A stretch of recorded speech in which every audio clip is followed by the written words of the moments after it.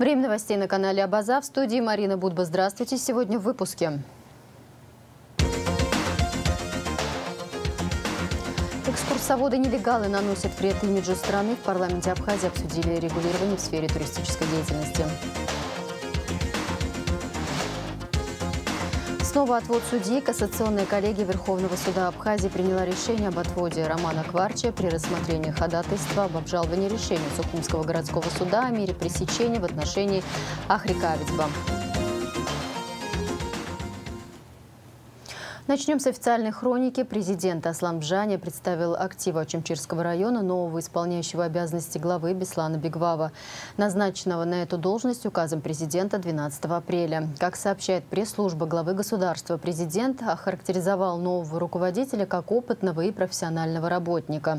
Аслан Бжани нацелил Беслана Бегвава на результат призванные улучшить социально-экономическое положение в районе. Пришло время созидать. Давайте начнем с чистоты, сказал президент. Аслан Бжани призвал обжуйцев в преддверии курортного сезона провести генеральную уборку территории, в особенности вдоль центральной трассы. Президент отметил, что в этом году ожидается большой поток туристов, в том числе в Восточную Абхазию. В районе уже реализуется очень серьезный инвестиционный проект «База отдыха в селе Тамыш». Глава государства отметил, что реализация инвестпроекта в Тамыше берет начало с его встречи с президентом России Владимиром Владимировичем Путиным. Он напомнил, что в течение пяти лет не предусматривалось финансирование на очистку придорожной инфраструктуры. Ее обязательно нужно привести в порядок, сказал президент. Более того, строительство вдоль трассы должно обязательно согласовываться. Должен быть единый стиль с национальным колоритом. Все, что уже построено, изменить сложно, но отныне все строительные работы будут вестись по согласованию. Будет принята единая концепция по строительству вдоль трассы. Задача государства – создавать условия для привлечения инвестиций и создания благоприятных условий. Нам нужны серьезные инвестиции. В районе огромное количество пустующих земель, не дающих никакого экономического эффекта. Речь не идет о продаже земли, об ее эффективном использовании, подчеркнул президент. Исполняющий обязанности главы администрации Чемчирского района Беслан Бегвава поблагодарил президента за оказанное ему доверие. Президент Абхазии подтвердил заинтересованность в укреплении связи с братскими республиками Северного Кавказа. Аслан Бжани принял отчет советника по вопросам взаимодействия с ветеранами-добровольцами Северного Кавказа Рис Мага Аджинджал, сообщает пресс-служба президента. По поручению главы государства в городах Майкоп, Нальчик и Владикавказ советник посетил семьи безвременно ушедших по болезни добровольцев, передал им соболезнования и финансовую поддержку от руководства Республики Абхазия. Изучив представленный в, отчете, в отчете материалы, Аслан Бжани отметил, что в рамках одного визита, если не получилось охватить все республики, то в свой следующий визит на Северный Кавказ его советник обязательно должен будет посетить Карачаево-Черкесскую республику, Республику Южной Осетии и другие республики. За большой вклад в укрепление межгосударственных отношений между Республикой Абхазия и Российской Федерацией указом президента Абхазии Аслана Бжания Утари Аршба награжден орденом Ахдзапша второй степени, сообщает сайт главы государства.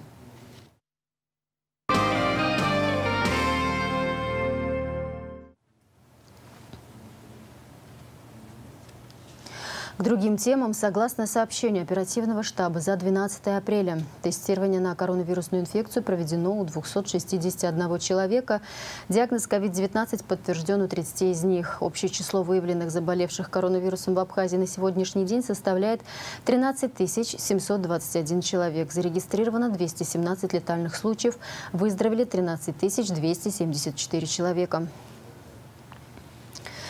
Сухум прибыла очередная партия гуманитарного груза, предоставленного Всемирной организацией здравоохранения. Гуманитарная поддержка, которая направлена в Республиканскую бактериологическую лабораторию санитарно-эпидемиологической службы, а также в больницы, где проходит лечение больных с COVID-19, стала возможным благодаря общей координации постоянного представителя ООН Сабины Махаль при содействии Управления Верховного комиссара ООН по делам беженцев. В состав груза входят средства для проведения тестирования на коронавирус, кислородные концентраторы, медицинские халаты и контрольно-диагностические приборы для измерения уровня насыщения крови кислородом. Все это необходимо для более эффективного выявления и лечения случаев новой коронавирусной инфекции. Данные средства были приобретены непосредственно из фондов ВОЗ, а также при финансовой поддержке Европейского Союза. Россия, между тем, решила приостановить авиасообщение с Турцией из-за ухудшения эпидемиологической обстановки в стране. Так, 12 апреля оперативный штаб по борьбе с коронавирусом принял решение частично ограничить перелеты в Турцию на полтора месяца с 15 апреля по 1 июня. Уточняется, что новые меры коснутся чартерных рейсов. В начале апреля несколько государств признали Турцию эпидемиологически опасной страной из-за высоких темпов заболеваемости коронавирусом. В последние несколько дней суточный прирост инфицированных составляет почти 50 тысяч человек, что является рекордным числом с начала пандемии.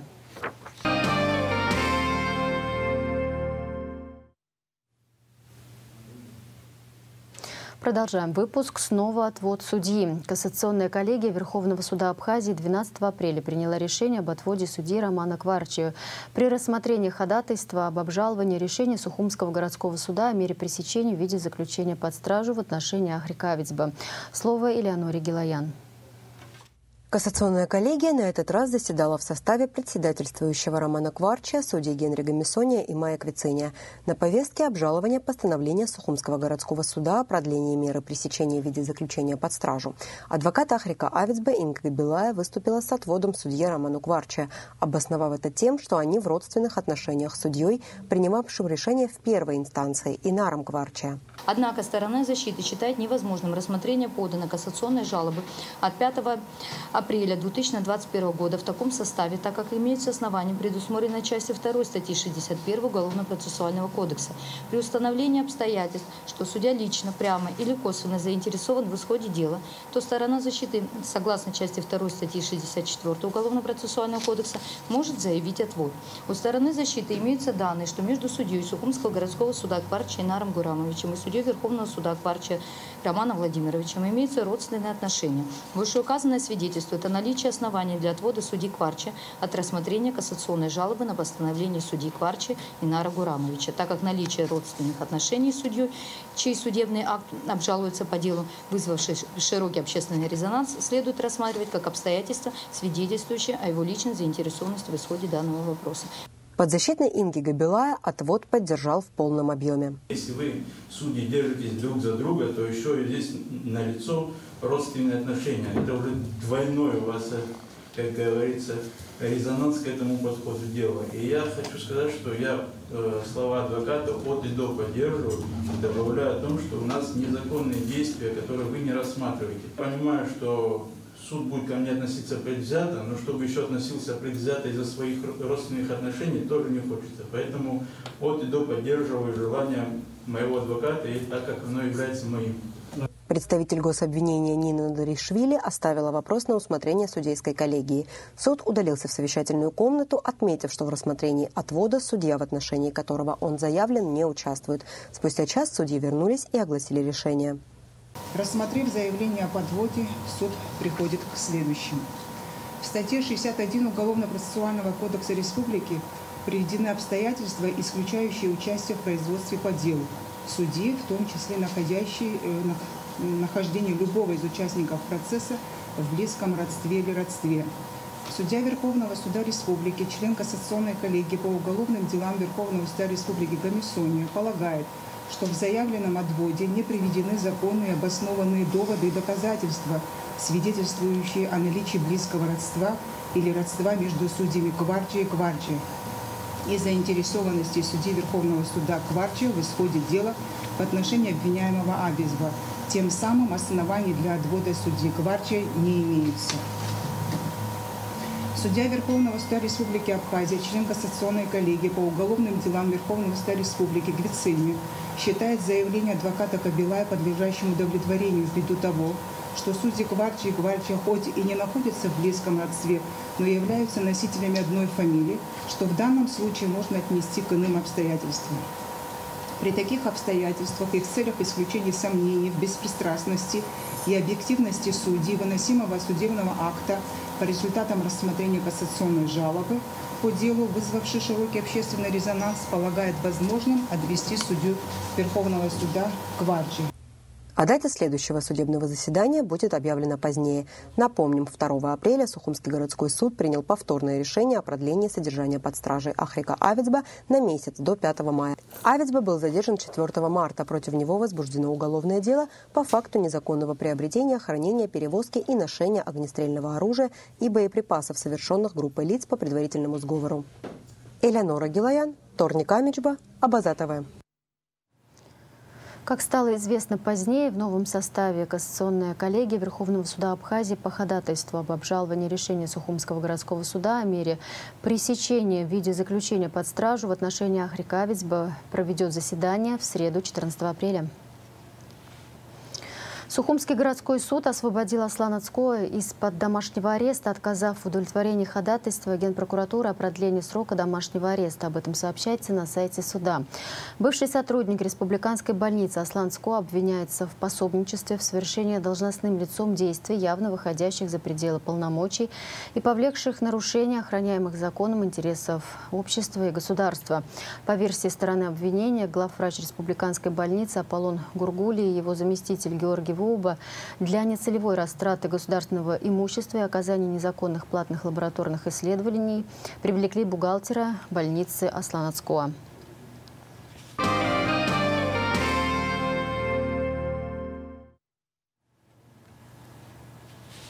Строительство нового мостового перехода через реку Гумиста обсудили в Министерстве экономики. Вице-премьер-министр экономики Кристина Узган и начальник управления капитального строительства Тимур Аграба встретились с руководителем подрядной организации и представителем российской проектной организации.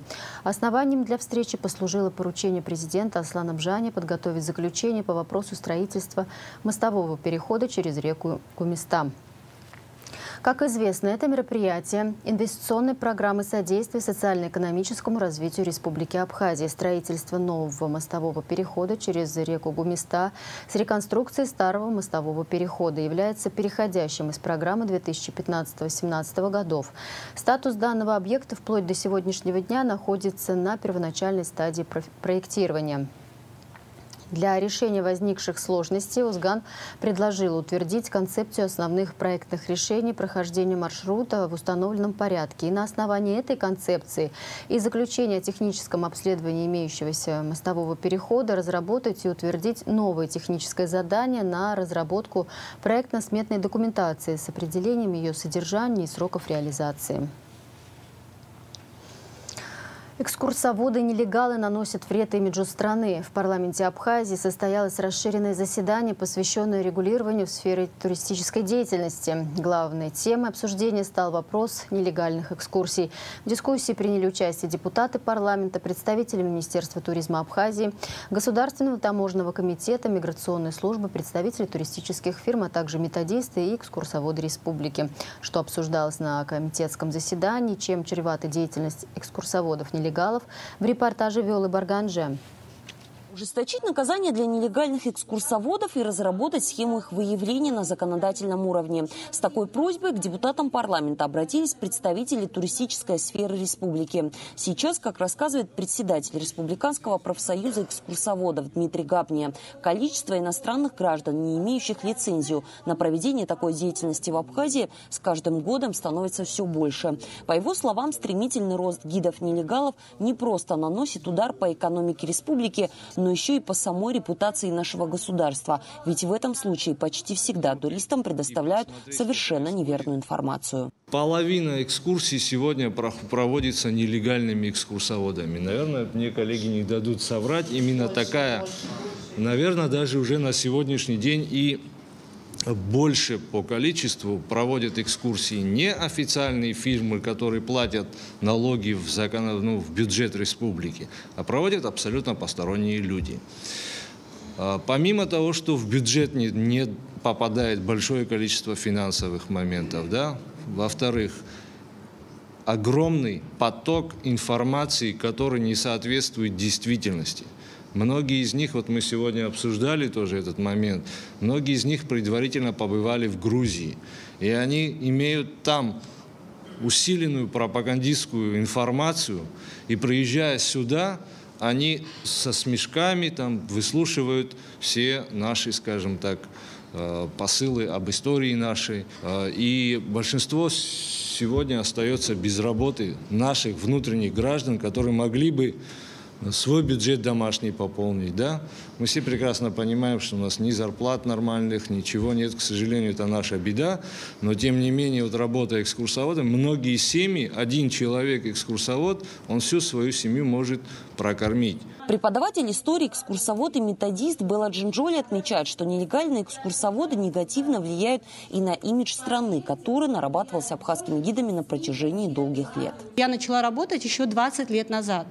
Чтобы вы понимали, это тот период, когда в Абхазию кого-то заставить приехать было очень сложно.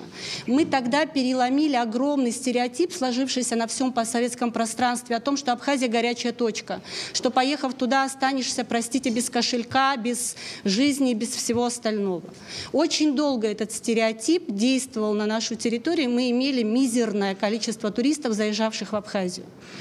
Мы, простите, не будет, наверное, сказано голословно, мы заполнили Пицунду как курорт. Они вспомнили, туда поехали туристы.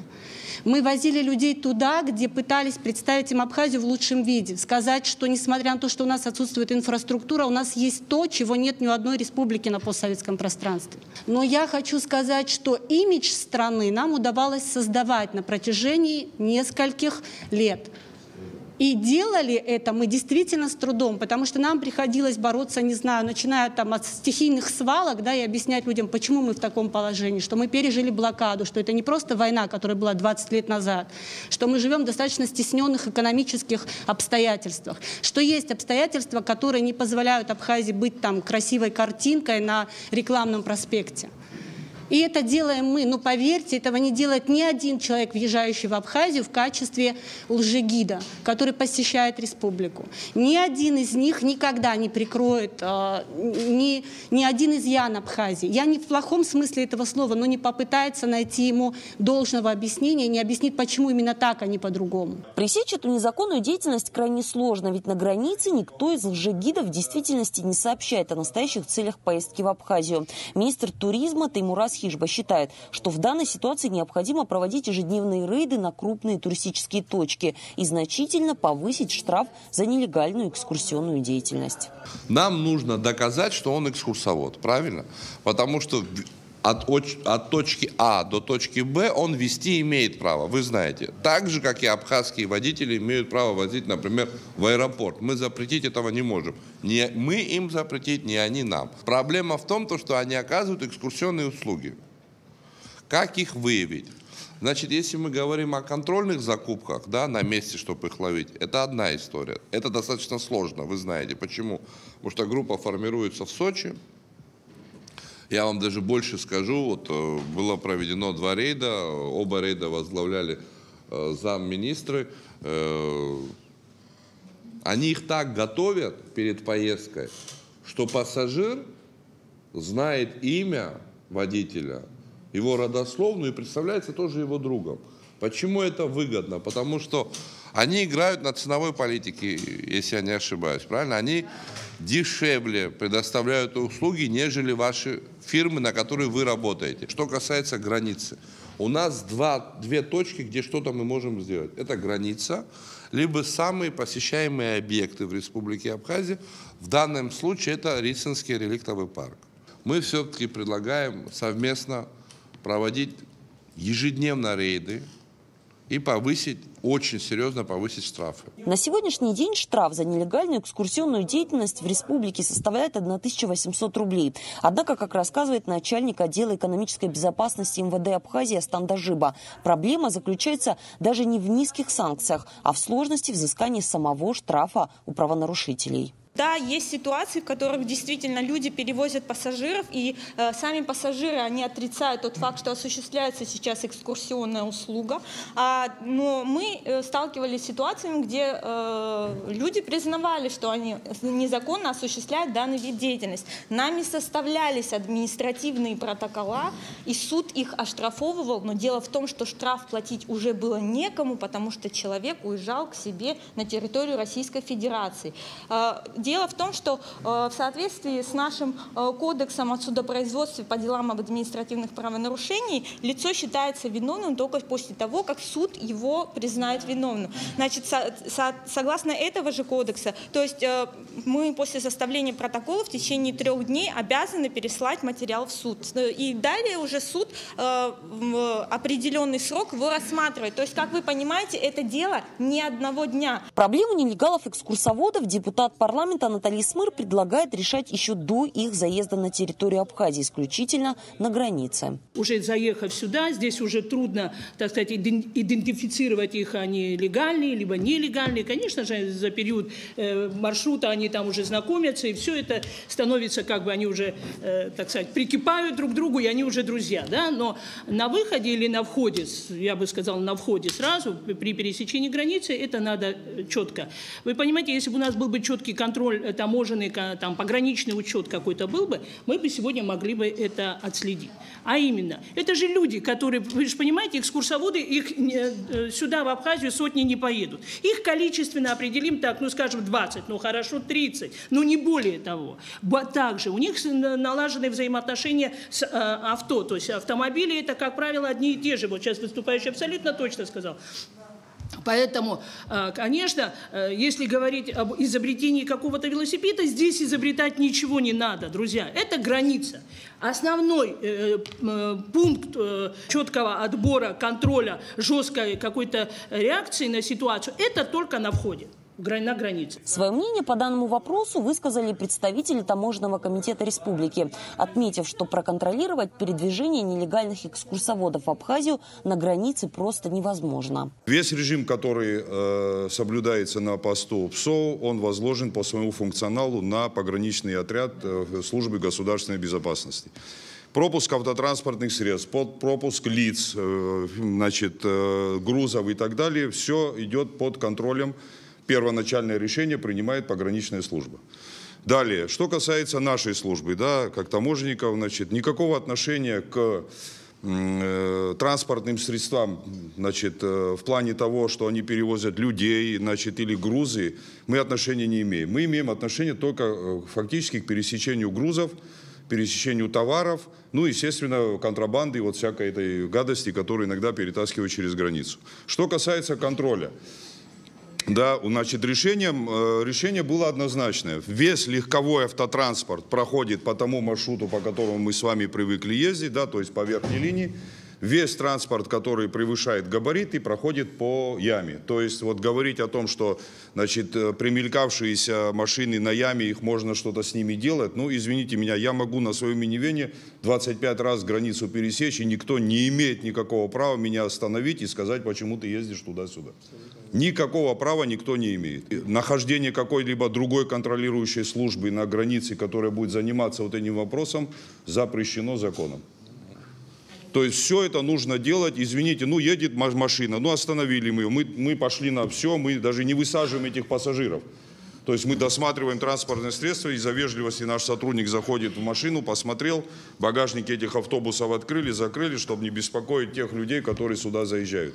А заниматься пресечением, ну, значит, э, во-первых, их выявлением и пресечением, ну, простите, я вам сразу говорю, это не получится. Изучить опыт других стран и все-таки найти выход из ситуации. К такому решению пришли депутаты парламента. Помимо этого, в ближайшее время планируется создание рабочей группы по борьбе с нелегальной туристической деятельностью. Виола Барганжа, Раму Камки, Абазатова. В Чувашии ждут гостей из Абхазии. Чебоксар заинтересованы в развитии туризма с Сухумом. Как известно, 6 апреля столицы Республики Абхазия и Республики Чувашия подписали соглашение об установлении побратимских отношений между городами.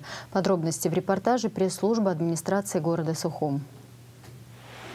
В рамках визита делегации администрации города Сухум в Чебоксары состоялась встреча с туроператорами. Стороны обсудили вопросы развития туризма и взаимовыгодного сотрудничества. Встреча состоялась в известном в республике санатории Чувашия курорт. Гостей Сухума приветствовала заместитель главы администрации города Чебоксары по социальным вопросам Ольга Чепрасова и поблагодарила, что в плотном графике визита в Чебоксары нашли время встретиться с туроператорами.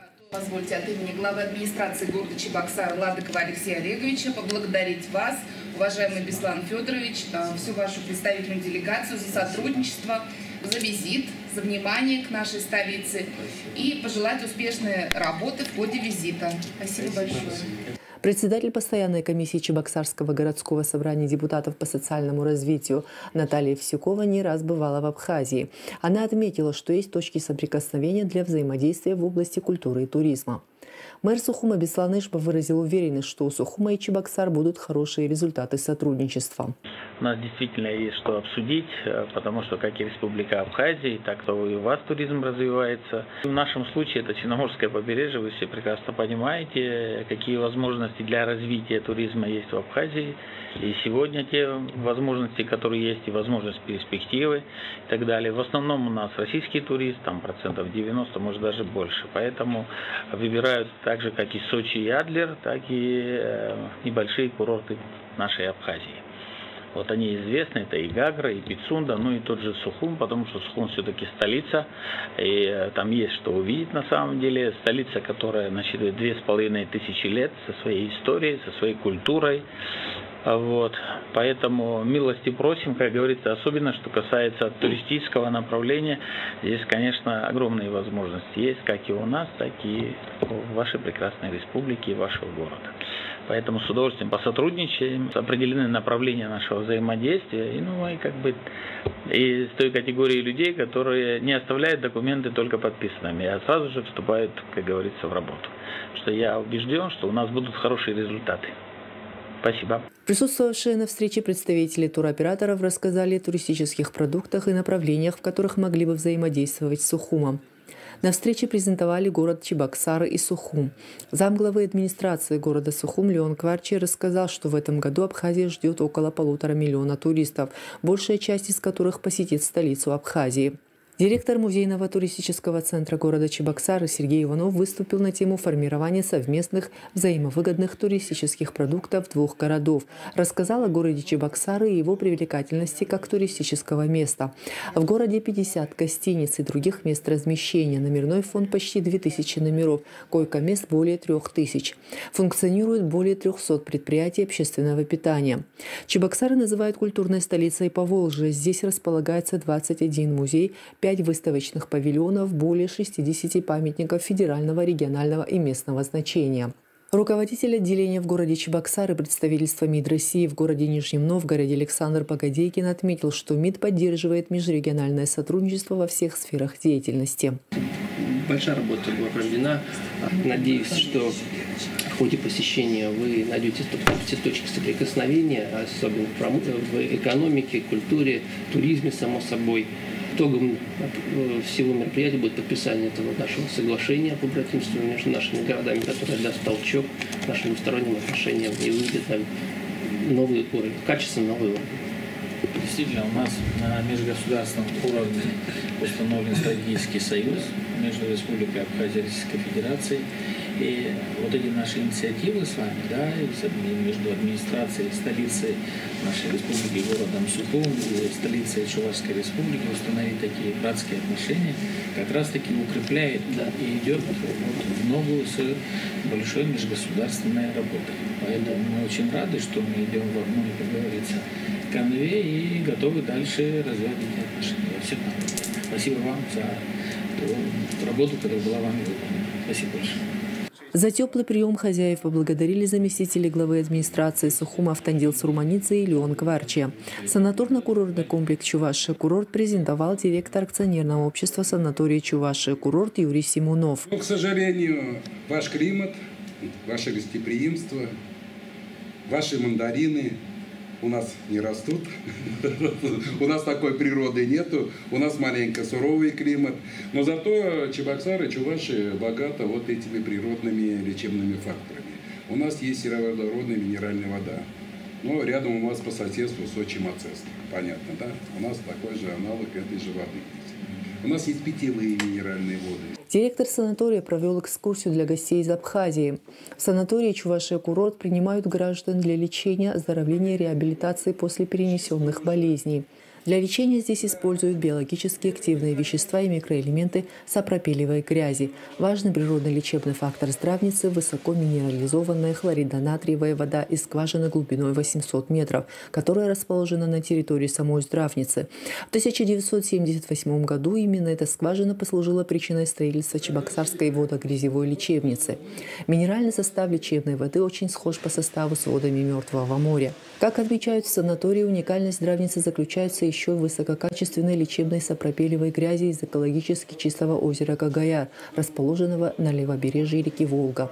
В России имеется всего лишь несколько месторождений лечебных сапропелевых грязей. В санатории проводят также физиотерапию, массажи, спа-процедуру. Это все на новейшем оборудовании. Обо всем этом рассказали представителям администрации Сухума и отметили, что ждут гостей из Абхазии. Я сам не принимал и не могу даже, что это такое сказать. Это могут только женщины, которые пользуются. Ну, говорят, что что-то хорошее. Да, очень хорошее говорят.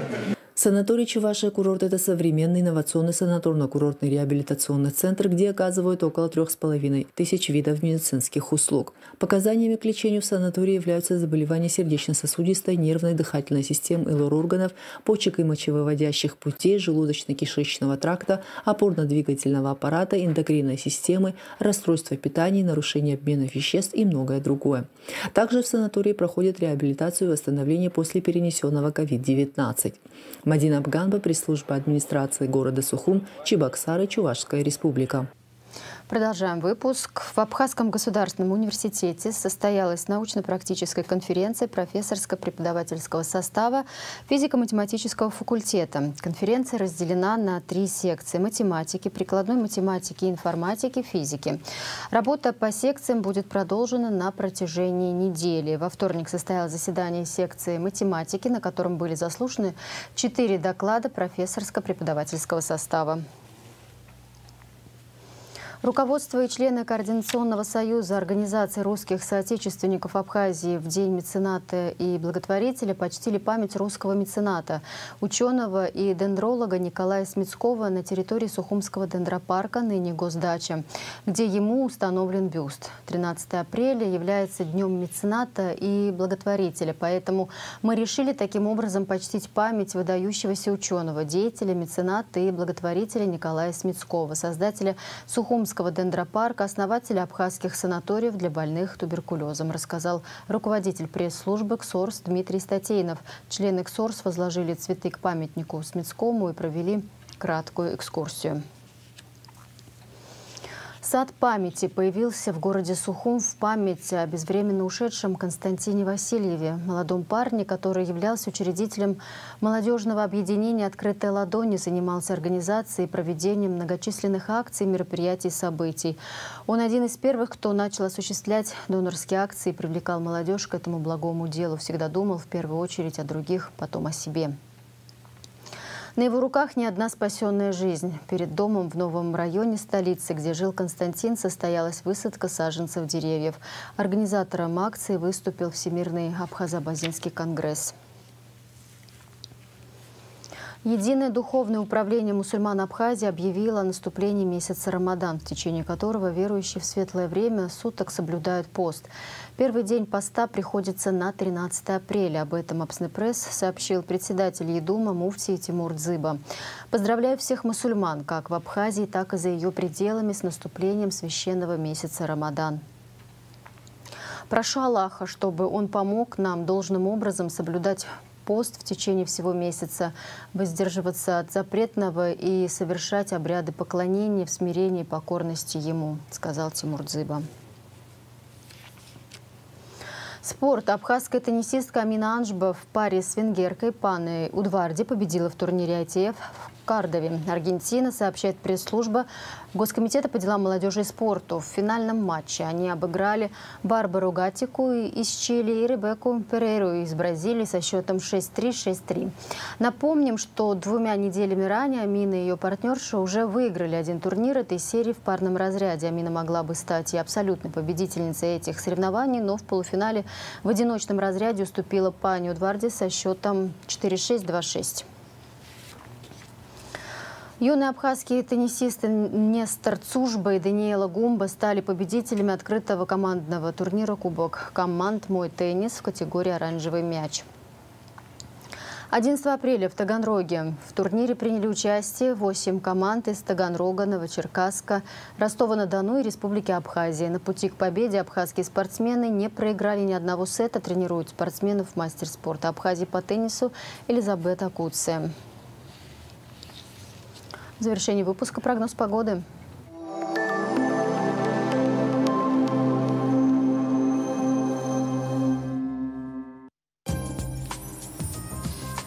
В среду 14 апреля в Абхазии переменная облачность. Ночью местами возможен дождь, туман. Днем без осадков. Температура воздуха ночью 10, днем до плюс 17. Температура морской воды плюс 11.